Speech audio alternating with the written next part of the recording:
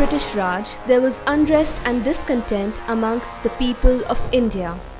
The Hindu soldiers protested against the addition of Gurkha, Sikh, and lower caste soldiers to their ranks.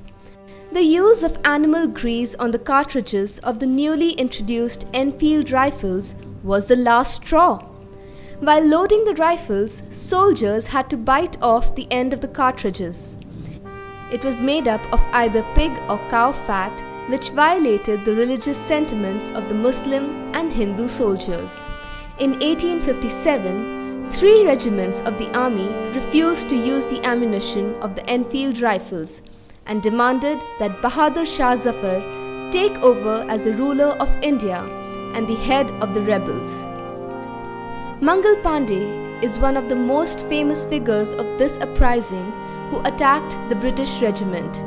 He was later arrested and hanged. This uprising came to be known as the Sepoy Mutiny or the Revolt of 1857.